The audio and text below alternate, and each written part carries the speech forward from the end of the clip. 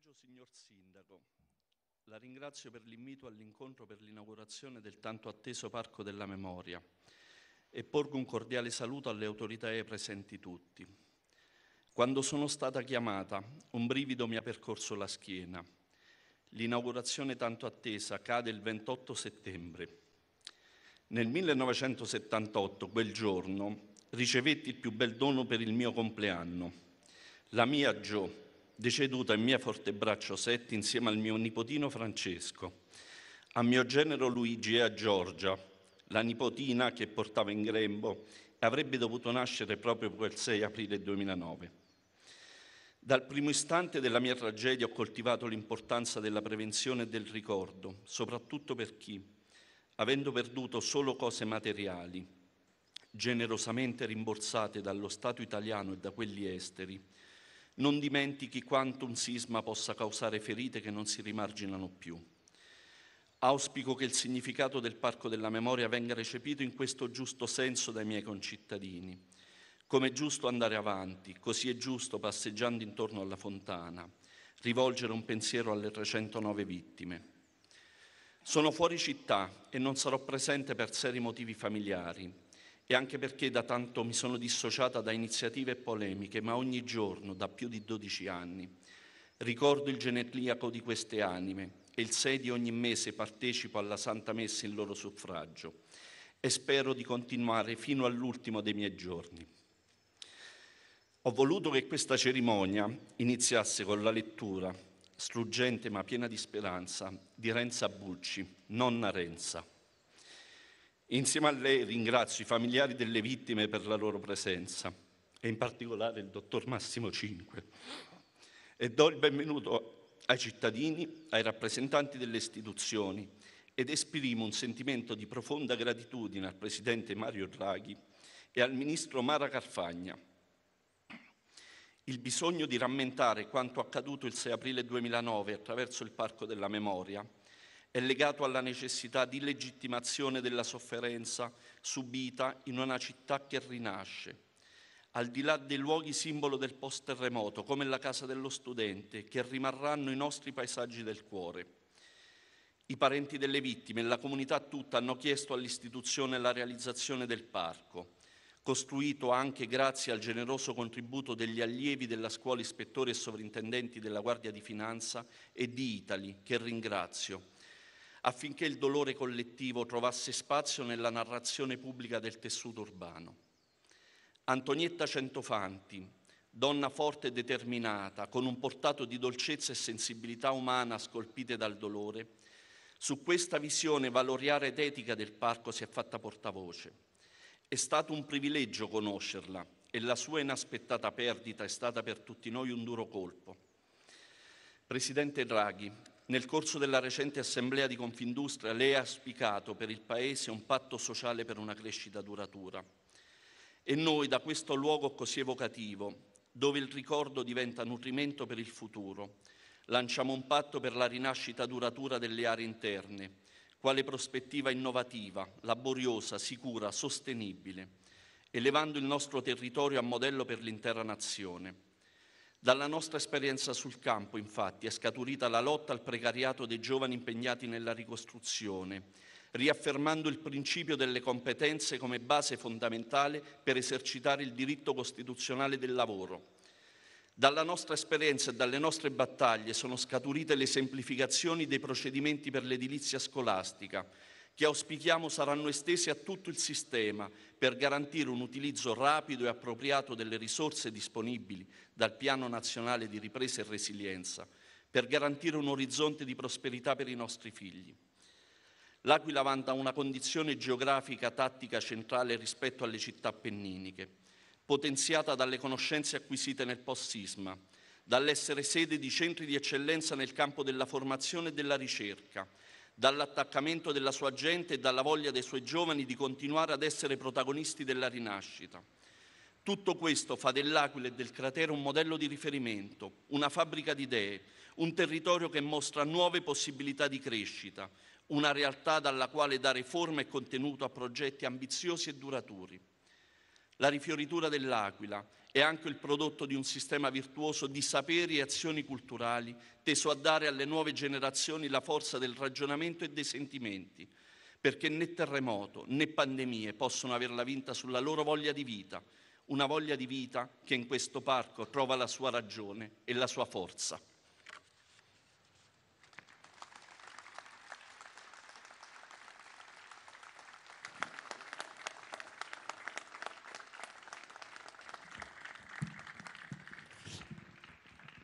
Prende la parola Massimo Cinque, medico aquilano, uno dei familiari delle vittime del sisma.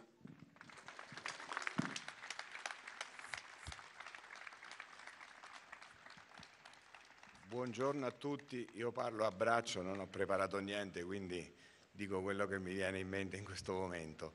Intanto ringrazio il Presidente e il Ministro che attraverso il, eh, il Sindaco e tutta la Giunta Comunale ci hanno onorato oggi della loro presenza qui per inaugurare questo Parco della Memoria. Se mi avessero detto anni fa, oggi è 28, il 28 settembre del 2021 sarai qui eh, insieme al Presidente del Consiglio, al Ministro, al Sindaco a inaugurare questo parco, mi sarei fatto una risata perché insomma penso che nessuno più di me in questo momento gli passa davanti tutta la vita perché io sono nato in questo palazzo nel 66, ho abitato qui con i miei genitori fino al 78, quindi 12 anni, ho passato i 12 anni della mia vita in questo piazzale, giocando a pallone con le palline qui sopra, quindi per me questo luogo, per me personalmente, è un luogo più che della memoria.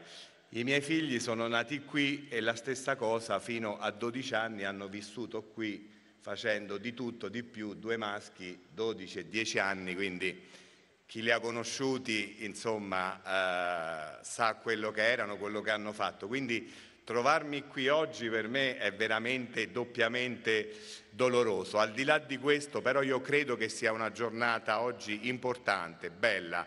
Dobbiamo mettere da parte le polemiche, se no non andiamo da nessuna parte. Oggi deve essere una giornata di ricordo, una giornata di gioia io credo che loro, i 309 angeli che dico sempre io, quella notte non ci hanno, sono volati in cielo, però si sono trasferiti in un piano superiore, dico sempre io. Loro continuano a essere sempre presenti, sempre vicino a noi, 24 ore su 24, 365 giorni l'anno, li sentiamo sempre vicini. E loro io credo che oggi sono contenti di questa, di questa giornata, di questa bella giornata, che deve essere appunto una giornata del ricordo. Se ci togliamo il ricordo, ci togliamo la memoria, non ci resta più niente. Poi le polemiche ci saranno sempre, purtroppo nella vita è così. No, io dico sempre non possiamo piacere a tutti, sarebbe assurdo, no?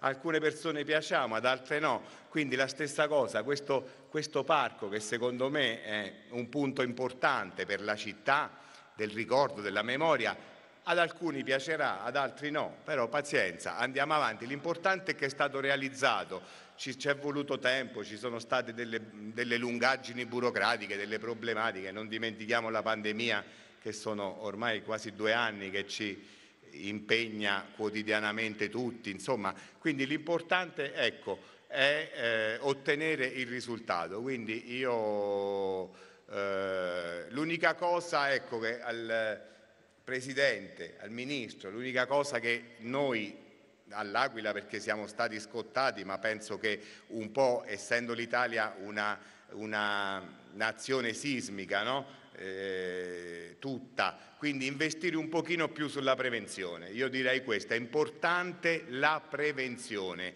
È chiaro, noi l'abbiamo sempre detto, pure nel processo, c'è stato il processo, tutto quello che c'è stato, ma al di là non voglio entrare in merito perché non sta a me e non spetta a me, però è chiaro che tutti sappiamo che i terremoti non, possono, non si possono prevedere, no? come le eruzioni dei vulcani, tutte le calamità naturali, però Costruire bene si può. Ecco, questo è il messaggio importante che deve passare.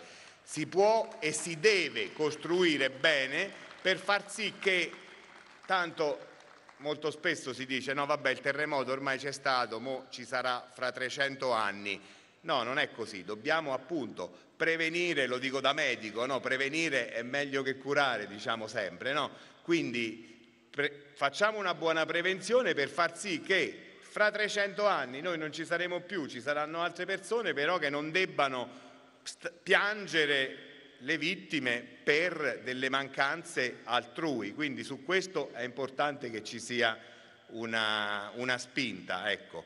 E grazie a tutti, nostri, quello che ha detto Renza Bucci è veramente struggente, non, non, ci stanno parole, insomma è una cosa, è racchiuso un po' tutto nel il dolore che abbiamo noi ormai da 12 anni tutti quanti, però ripeto, dobbiamo andare avanti nel, nel, loro ricordo, nella loro memoria e di questo sono, sono convinto che loro ne sono felici.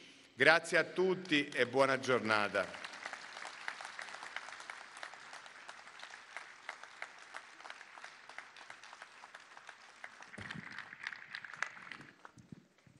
Prende la parola Chiara Coletti, studentessa dell'Istituto Comprensivo Cesira Fiori San Demetrio Rocca di Mezzo, in rappresentanza del territorio del cratere 2009.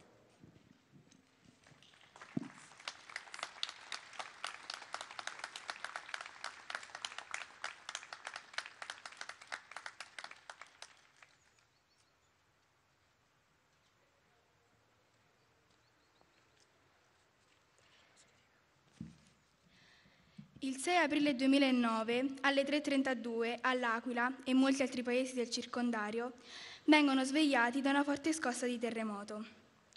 Noi siamo nati proprio in quell'anno tragico e conosciamo gli eventi grazie ai racconti dei nostri genitori e anche perché intorno a noi ci sono esempi concreti di quanto accaduto, come case, chiese, edifici distrutti o ingabbiati, oppure gru che fortunatamente significano ricostruzione. Purtroppo 309 persone non ci sono più a loro va il nostro pensiero, oggi e sempre, nella speranza che in futuro non si debba più ripetere la morte di esseri umani, dovuta a fenomeni che, pur non potendoli prevedere, si possono mitigare costruendo in modo sicuro. Diventeremo grandi e magari qualcuno di noi farà l'ingegnere, il medico, l'avvocato o il politico. Saremo comunque cittadini con doveri e diritti, tutti dovremmo sempre, ognuno per il proprio ambito, lavorare per il bene comune e per ridurre i rischi sia per la salute che per l'incolumità della collettività.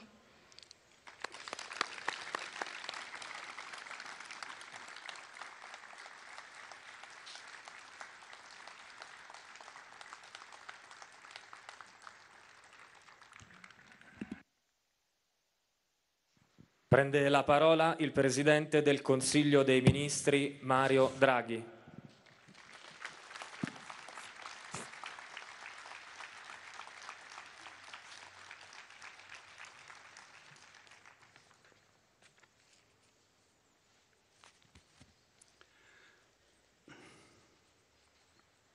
Sua Eminenza il Cardinale Giuseppe Petrocchi, Sindaco Pierluigi Biondi, Prefetto Cinzia Tedesca Teresa Torraco, Vicepresidente Emanuele Imprudente, rappresentanti del Comitato dei Familiari delle Vittime, onorevoli parlamentari, autorità tutte, signore e signori. La mia, mia presenza oggi serve a ribadire, prima di tutto, il dovere del ricordo la scossa di terremoto che ha colpito l'Aquila nella notte tra il 5 e il 6 aprile 2009 appartiene alla memoria collettiva dell'Italia e del mondo. Ricordiamo le 309 persone, i 309 angeli, per usare le parole del dottor Cinque, che hanno perso la vita e i loro cari, a cui va ancora oggi il mio più sentito cordoglio. Tra le vittime tanti bambini, tanti giovani, come gli otto ragazzi e ragazze della Casa dello Studente, che in questa città erano venuti per prepararsi il futuro. Penso anche a tutti coloro che hanno perso la casa, la sede della propria attività o anche i luoghi della loro spensieratezza. Un terremoto, come è accaduto per gli altri che hanno colpito il nostro Paese, è una ferita profonda inferta a questa comunità. Noi non possiamo dimenticare, noi non dobbiamo dimenticare. Ma oltre alla responsabilità della memoria, il governo deve assumersi l'impegno dell'azione. Mi riferisco alla ricostruzione post-sisma, che procede ovunque, ma con velocità diverse. Nella città dell'Aquila il rifacimento degli edifici privati ha ormai superato l'80%, grazie anche all'introduzione di tecniche e procedure innovative di cui possiamo oggi essere orgogliosi. Negli altri comuni del cratere il processo è invece più lento.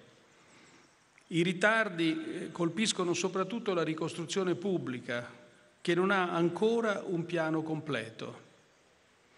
Parlo di scuole, ospedali, strade, uffici, chiese, gli edifici che rendono un luogo una comunità.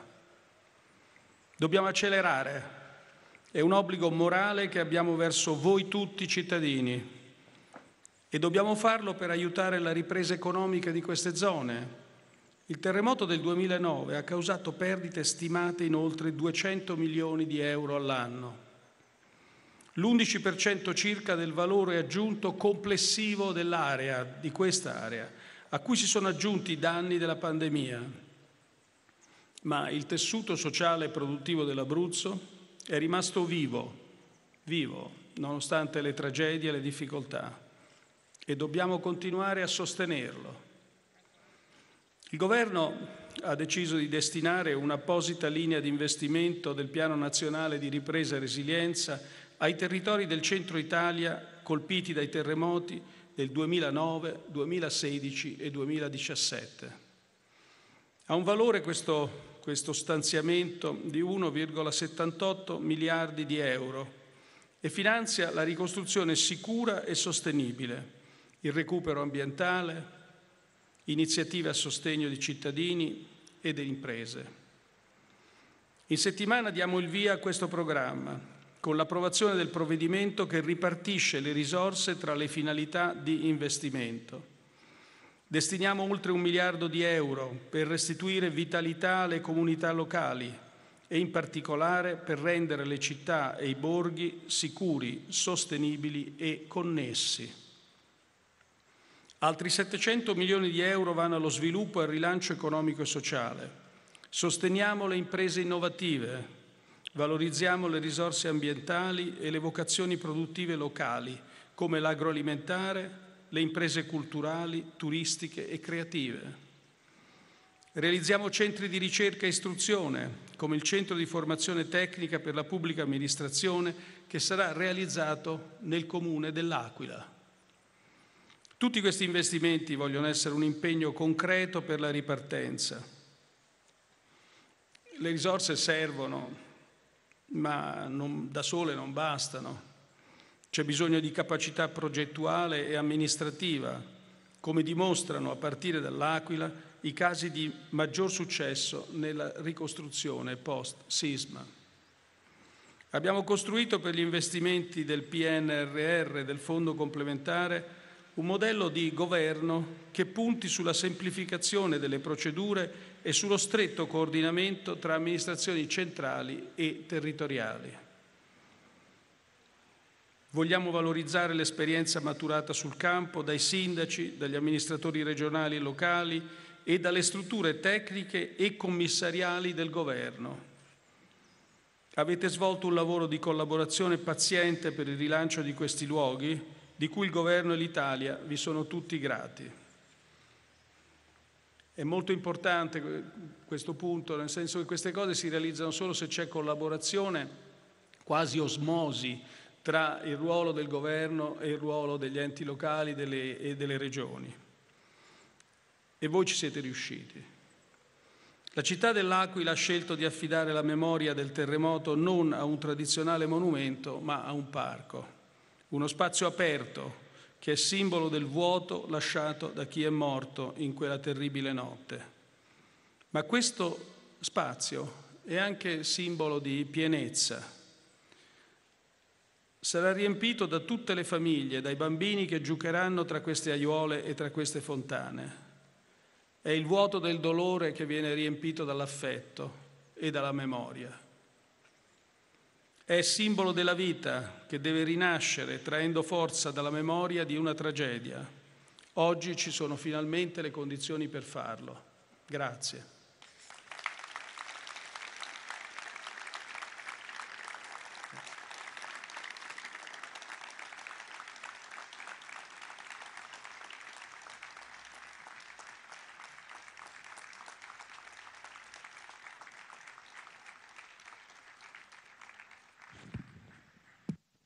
Il nostro arcivescovo, Sua Eminenza il Cardinale Giuseppe Petrocchi, procede ora alla benedizione del parco.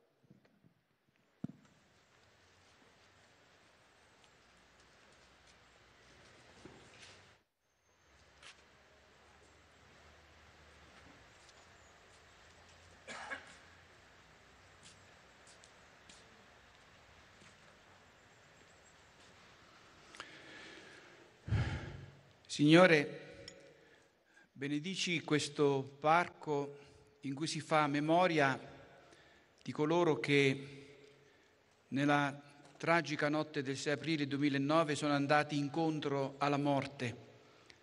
Accoglili nella pace gioiosa della tua casa, nei cieli.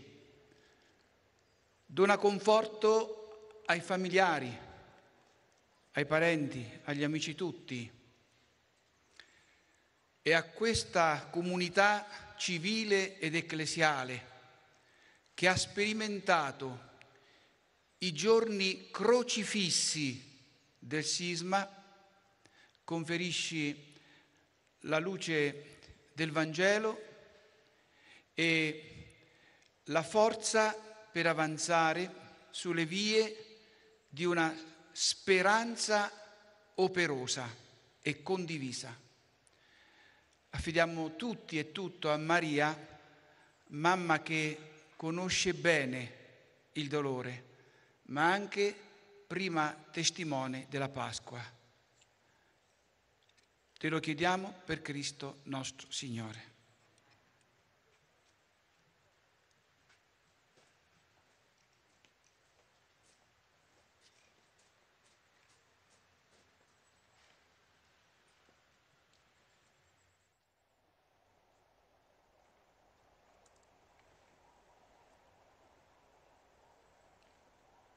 Ludovica Dionisio, alunna dell'Istituto Comprensivo Patini che ha frequentato la primaria Mariele Ventre, nata nel 2009, depone una rosa ai piedi della stele del Parco della Memoria.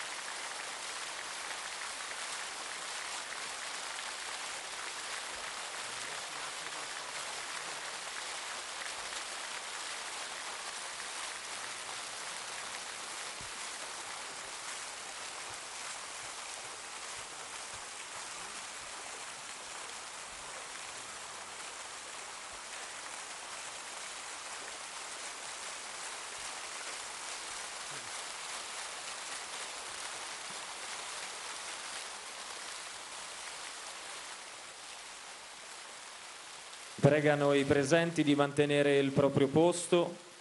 Il Presidente del Consiglio dei Ministri Mario Draghi e il Ministro per il Sud e la Coesione Sociale Mara Carfagna.